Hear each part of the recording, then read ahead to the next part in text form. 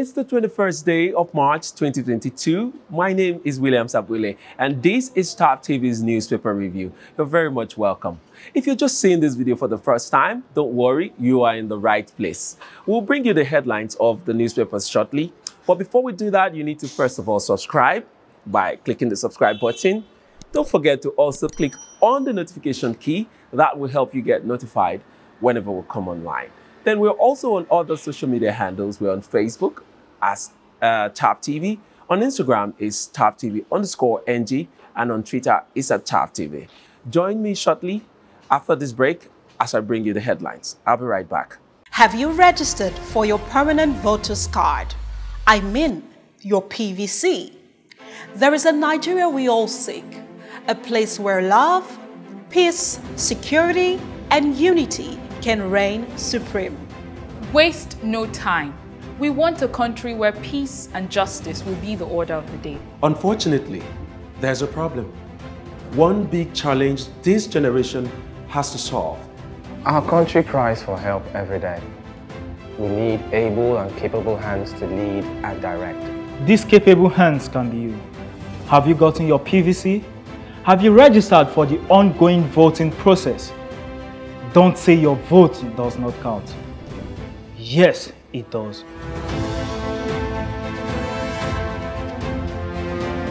Have you gotten your PVC? Your apathy towards Nigeria's electioneering process will further inhibit our collective growth and development as a nation. Your refusal to participate and engage will keep us at a standstill. So be intentional. I have my PVC. Your votes, your voice, would go a long way in preventing absolute destruction of this country and the future of our children, the hope of tomorrow. The 2023 Nigerian elections are just around the corner. Go out and get heard. Don't forget, your vote, your voice. This message is proudly brought to you by Thav Media Limited. Welcome back. We begin the headlines from the Punch newspaper. And on the Punch newspaper today, being the 21st day of March 2022, uh, we take the headliner here. It says APC convention. Southwest governors reject Buhari's uh, allies as secretary, vice chair. I'll take that again. APC convention. Southwest governors reject Buhari's allies as secretary, vice chair. External forces trying to impose persons on Southwest, says Akeredolu. Adamu Al-Makura Musa divide National Assembly over chairmanship race. All of the stories you will find in page 8 of uh, the Punch newspaper. All right, we'll go to the top part of that paper. We see federal government incurs fresh 950 billion naira domestic borrowing in first quarter of 2022. DMO speaking there. And then we also see the headline, uh, this headline at the top part of the punch list newspaper there. We see Malami Oke's seizure of Kyari accomplices property accounts. And that story is on page um, 42 of uh, the Punch newspaper. Moving on, we look at other headlines here. We see GenCos counter NBET over purchase agreements list 1.64 trillion naira debts. All right, that's on page 30 of the Punch newspaper. All right, so do well to pick a copy of the Punch newspaper. That's where you find details of all of that headlines uh, for today, Monday, the 21st day of March. Moving on, we go to Nigeria News Direct. Nigeria News Direct. And from the top part of that paper, um, we see there NCC backs Bayelsa Drive to boost digital infrastructure. NCC backs Bayelsa Drive to boost digital infrastructure. And the big headline on Nigerian News Direct, we see power outage. Federal government to restore electricity nationwide today. Uh, federal government to restore electricity nationwide today. Gas shortage responsible for power outage. Expert as SERAP charges federal government to probe missing 11 trillion naira electricity fund. Osun 2022. Support me. You won't be disappointed. Oyetola tells electorate. And then Buhari condemns violence in Southeast, consoles Obiozor. Okay, we move on to uh, other papers, and uh, that paper will be Nigerian Tribune for today, the 21st day of March 2022. And we see there, reps may seek judicial interpretation of Electoral Act judgment. Uh, other stories here, we see uh, police ban personnel from demanding customs papers, tinted permit. That story is on page 7 of the Nigerian Tribune. And then we see as the big headline on Nigerian Tribune, we see PDP presidential ticket, governors, Atiku draw battle line, Saraki, Tambuwal, Bala opt for consensus.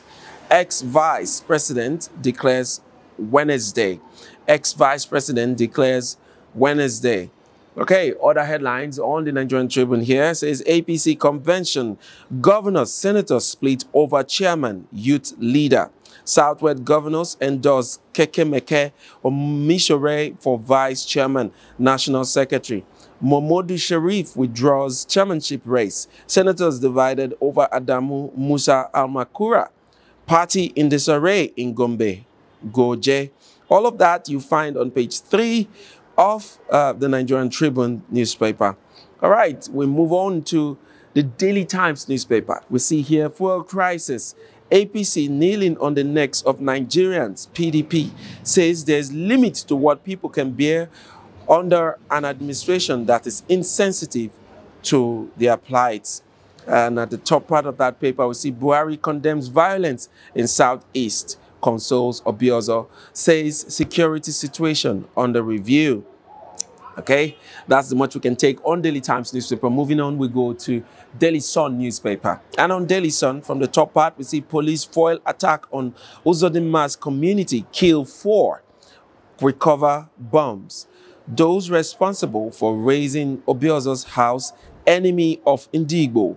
Um, C-O-S-E-Y-L speaking there. Um, and all of that story is on page 4 and 28 of the Daily Sun newspaper. Other stories here on the Daily Sun newspaper, we see Northern PDP aspirants ready for consensus, says Saraki. And that story you'll find on 26 and 27 of the Daily Sun newspaper. Party has has final say on zoning OB. Party has final say on zoning OB. All of that is coming uh, on the heels of um, the PDP convention. So pick up a copy of the Daily Sun to get details of that story. At the bottom part of the Daily Sun newspaper here, we see expect agitation, expect agitation worse than EndSARS if PDP speaking there. Uh, Nigeria situations getting to boiling point can trigger anything opposition party. So we need to get details of that and who's talking and what they're talking about. Please pick up a copy of Daily Sun newspaper and run to page 26 of that paper. That's where you find the details of that story. All right, so we go to uh, New Telegraph newspaper. And on New Telegraph newspaper, we'll start from the top there. Nigeria's debt rises by 26.29 trillion in six years. Uh, debt to GDP still within 40% limit. CBN, energy crisis, that is CBN earmarks 104 billion naira to stabilize electricity supply. Uh, CBN earmarks 104 billion naira to stabilize electricity supply. Lack of PPA is serious threat to Nigeria's power market. GenCos debunk claims of keeping country in darkness over 1.6 trillion naira debt. Buhari abdicated his duties. PDP. Police to officers don't demand custom papers from drivers. Say tinted uh, glass permit issuance remains suspended. Okay, Buhari condemns attacks on Obiozor's home, police assets, assault, desecration of Igbo uh, ethos. Uhua Bunwa speaking there, and that story is on page two and seven of the New Telegraph newspaper. Uh, and at the bottom part of that paper, we say, ASUU to students Join our struggle if you want strike suspended. Varsity Dawn gives stranded UNIMAID, UNIMAID students 1 million naira for transport fare. Okay, so you need to get details of all of that story. Pick up a copy of the New Telegraph newspaper. That's where we get details. Next on the show is our discussion segment. Stay tuned, we'll be right back. Thank you very much for staying with us up to this time. We are back uh, on the show with our discussion segment, and I've been joined by Mr. Victor Sioko. Thank you very much for you, joining us once more. Thank you, He's sir. our regular commentator and, uh, and our, our political analyst here in Thav TV. All right, we go to the headlines. Let's analyze some of the headlines we've read out today. And uh, let's begin with Punch newspaper. And on Punch newspaper, let's see this headline about APC convention. They've been on the news for long, but we cannot take our eyes off them because uh, they are one, they are the ruling party.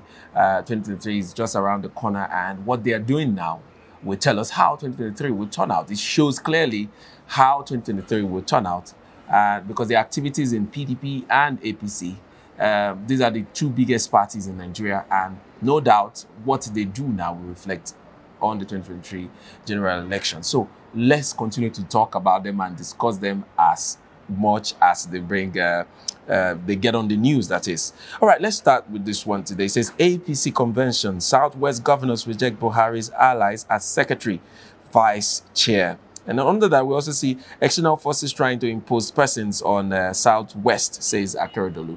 Uh, what's your reaction to this headline? Okay, um, we all know it's a, it's a it's all about interest. The politics, just general politics, is all about interest. Firstly, about interest. Now, um, Buhari has his preferred candidate. Remember when uh, um, Rufai came on air to say there is someone there that Buhari wants to be APC chairman Yeah. from the North Central, which is the zone, which is the area that it's been zoned to. So um, yeah, over the weekend we were able to uh, get the information that uh, uh, Modu Modu Sheriff, the former governor of uh, Borno State and former PDP chairman, who went to AP or who uh, defected. carpeted to to APC, Yeah. he dropped his ambition to become a. Um, the chairman of national party, chairman yeah. of the party, stating the reason that because he wants to respect the choice of the party to zone the position to the north central. So I asked, where was he when they first mentioned that it has to be the north central? You know, he's from northeast, but he's, is at the northeastern part of uh, Nigeria. Yeah. Okay, that aside, as it stands, we have about uh, three persons that are really strong in North Central that want this position. In as much as there is a, a very strong indication that the presidency has anointed, he has anointed Adamu. Mm. Adamu is the former governor of uh, Nasarawa State. He was governor between 1999 to 2007. Mm. Then we have a second person, as in, well, I'm talking about in terms of predictions, what we have right now. Mm. Adamu seems to be favorite. Then we have Amakura, Amakura of same Nasarawa State. Amakura is from North Central, and he is the current senator of Nasarawa Central. While um, while Adamu is senator from the eastern of uh, the eastern side of uh, eastern, the east uh, senatorial zone of, uh, uh, of uh, Nasarawa State. Now, the politics right now is that why we think that um, Adamu is the favorite is because last weekend he unveiled his um, his office, as in his uh, national um, uh, presidential office, um, campaign office, Yeah. just last weekend. And the people that were present there, when I got the names of the persons present during that function, I knew that he is really the man of the party, as in man of the people in the party, the strong guys in the party. The chief whip of the national of the National Assembly, Ojus Okalo, was present there, and he mm. was very vibrant. Mm. The deputy Senate president, mm. Omo Agege, you know how strong that man is from Delta State. He was present there with some other top APC um, lords. I have to call them lords. So, but we're still having, we're still having some, will I say, anti um, uh, Buni, sorry, anti uh, Buhari's uh, aspirants that are forcing their way in, Yeah. looking for the slightest loophole. In as much as yes, they've come um, Buhari has come through some um, persons in the party to say, see, let's leave this for consensus to agree on this. But Yeah. they say no, we must go down to it must go down to the wire on Saturday. So a whole lot of things will happen from now till Saturday. Already there is a lot of implosions happening by the zonings. Remember, we are supposed to have settled the zoning part of um, the in terms of when I mean zoning, in terms of the other smaller positions. I call them Okay. smaller positions, Yeah. although they are big. So those smaller positions, they were supposed to have settled them by their zones. Yeah. But up till now, has not been settled. So everything on Saturday, we have both the the the smaller positions that were supposed to have they have should have settled by now. Everything will happen on Saturday. The plan was just on Saturday. Let's do the proper election for the presidential, the the, The deputy and yeah. the and the sorry um the chairmanship, the deputy chairmanship and uh, the national secretary. Secretary, yeah. Already for the national secretary, there is a big there is a Big- yeah, there's a big issue there, yeah. because um, uh, Akeredolu of uh, Ondo State, Governor Akeredolu of Ondo State has said that Kemeke is the preferred candidate. Mm. Another wing is saying is Omo, Omoshore, the former gov- um, deputy governor of uh, Osun State. Yeah. Remember that uh, Aregbesola is having issue with uh, Tinubu. Tinubu wants um, uh, Omoshore. Um, uh, this um, uh, um, uh, um, uh, Aregbesola is again. So there is a whole lot of interest, a whole lot of interest and, in and the APC house, right now. the, the APC house is really in turmoil at the moment. Yes. and uh, it's uh, what what what should we say? Uh, PDP is any different?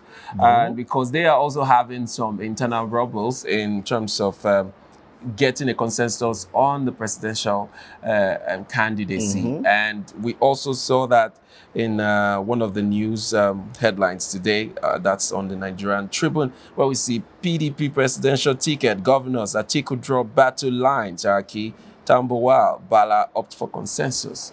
So, what, what's your um, um, how do you react to the story? Okay, um, even uh, just uh, on Friday, they were like, you know, there is a group now. Okay, there is a group against the core BOT members. The likes like that are against the likes of uh, Bode George. Bode George came out on national air to say, don't mind these persons that are saying that uh, zoning does not work in PDP. That they should go back to history. That PDP are the ones that instituted zoning because of the, the zoning is is not an anti-democratic because it helps to unify everybody. Yeah, it settles every uh, Yes, zone. this is your time. Take your time. This is your time. That- so he was saying that is does, it mean that are they now saying as in the article um, cartel? Are they now saying that we do not have anybody in the southern part of Nigeria that is capable and has the capacity to to um, to be the president of this country? Because Atiku is there saying that see, there's nothing like zoning that everybody should come to the to the floor and battle it out. Okay. Um, Saraki met with Tambuwal and uh, and uh, Bala Muhammad. Bala Muhammad being the um, uh, former governor of Kwara State, Tambua, current governor of uh, Sokoto, Yeah. while uh, um, uh, Saraki, former um, um, Senate president and uh, former governor of Kwara State, they all sat together the, um, last weekend to say, okay, please let's go the way of consensus. That they were going to speak. Remember, they are from the north.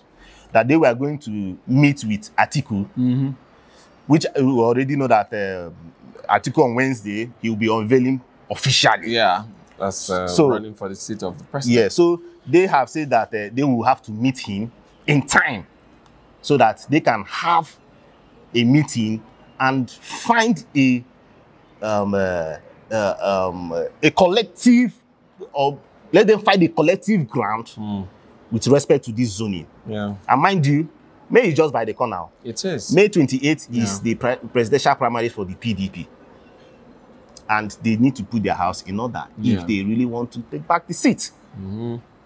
I agree. Yeah. So I think going forward, by next month, I just give us for the next two to three weeks, Yeah. we'll see many persons coming out to declare. We are still waiting for Remember, Yes, there is true. a, a lot, a lot. Yeah. Even in the, in the APC wing, we've not heard from. Um, um, I, I will call just two persons. Um, former governor of River State, Rotimi Amaechi. Amaechi, and the CBN governor. Mm. Then we also have heavy rumors that the vice president may also Exactly, declare, and he has not openly come out to say, "Oh, I am I'm refuting this these rumors or whatever, and saying that I'm not going to run." So all of this could play out, you know, before the convention date or in in a very short while. Okay, moving on from these stories, let's go to a warning given to the present government by the PDP when they say expect agitation worse than EndSARS if.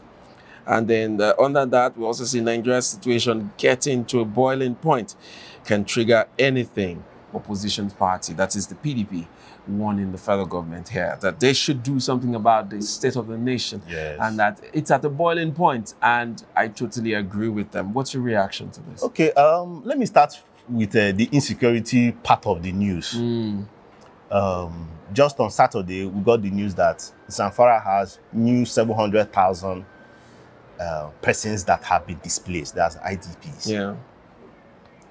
Come to Imo State, there was just um, uh, um, an explosion happened Yeah. at the house of the president of Ohanaeze Ndigbo, Yeah.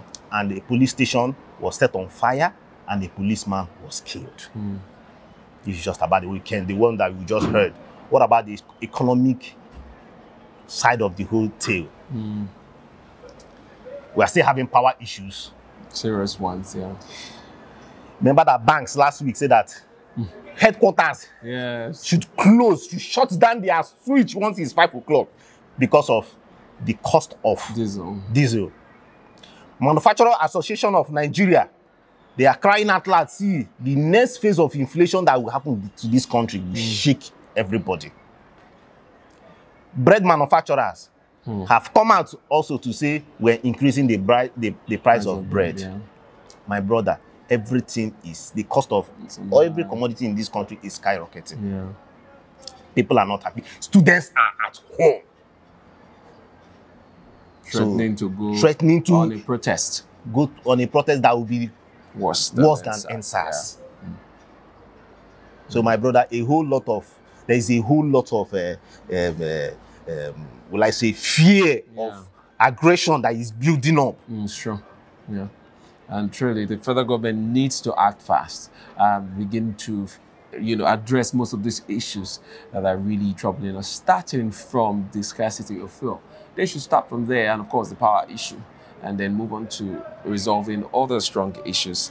And sorry, sir, Yeah. Mm-hmm. the police, mind you, they are on their own side, Mm. agitating that the, the increment that they say that they will do for them, Mm. the the increment in their salaries have not been implemented. They that say- they even want to down tools. So if all these things starts, if the protest starts now, Mm. how will this nation, It's true. how will they handle the situation Mm-hmm. when the police already they are angry?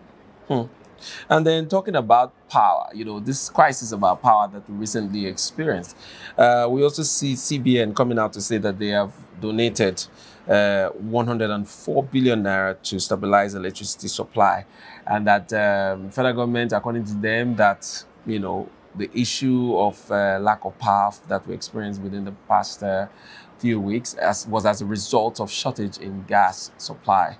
Uh, what, what's your uh, reaction to that? To be very fair with you, I don't even really understand our CBN anymore. Mm.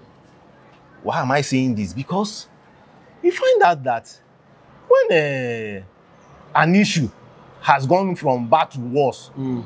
they now start, they now come out to be like uh, they are the saviors. They are trying to save the, the the situation. When we already have we have a budget. Okay, now you ask these monies that they are releasing. Mm. How how how is it? Are they borrowing more from their own side? Mm. Are you getting me? And also, I'm I'm also wondering, you know, this is my own thoughts. Why are they also picking Governor Emefiele? Why is the, his posters are everywhere? So um, I, he might not have the interest to be the president of this country, but I'm also wondering why would they be even fronting him? I think it's suspicious from my own side because the way CBN is moving about all the whole when there is an issue, They they, intervene. they will interview, they will come out to say that uh, they are doing this part to.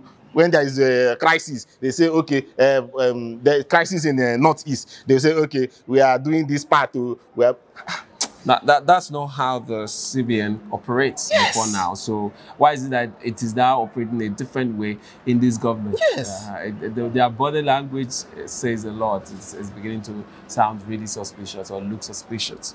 All right, thank you very much, Mr. Victor. That's the much we'll be taking today. Thank you for always showing up every time. And to our viewers, we really, really are grateful for you staying tuned up to this moment. Don't forget to follow us on our social media handles and, of course, subscribe to this channel. Till next time, I come your way again. My name is William Sabule.